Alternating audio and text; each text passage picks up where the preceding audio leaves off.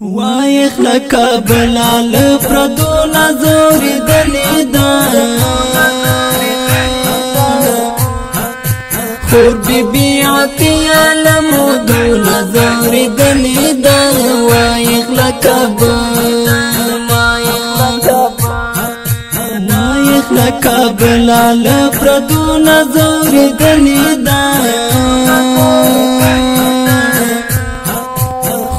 بی عطیال مدون دور دلی دا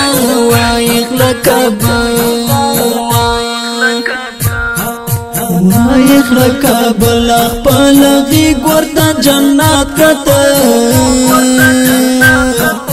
هیر ترینا حقا دا ظالمانو سقوان شاد کتا وایق لکبا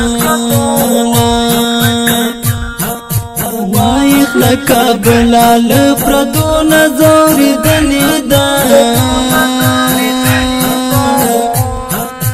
خور بی بی عطیا لمدو نظر دلی دا وایخ لکبل وایخ لکبل ل پردو نظر دلی دا مور بی بی عطیا لمو دول زوری دلی دا وایق لکا با وایق لکا بلا ډیرو سختو کړمونو کې تا تا دراغې د غم سیو ارو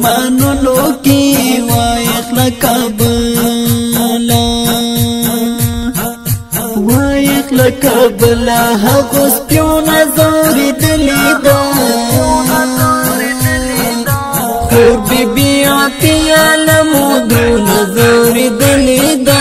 وائخ لکبل وایخ لکبل لپرتو نظر دلی دا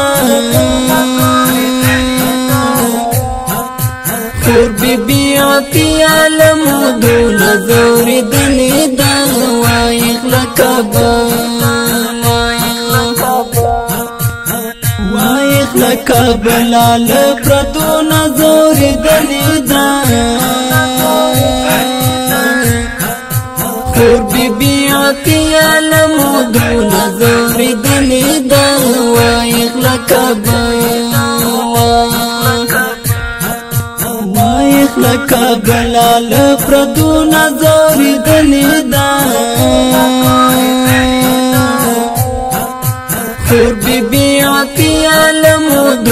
زوري دني دا وای لکبا شاعر دی ګران او محترم نادرک شپون او اواز دی دا درر کوچی زموږ د رابطې لمبر دی صفر اتاویه اوه شپېته درې سوه شپېته او بله شماره ده صفر سوه شپږ اتیا اته نوي څلوېښت اویا وسلام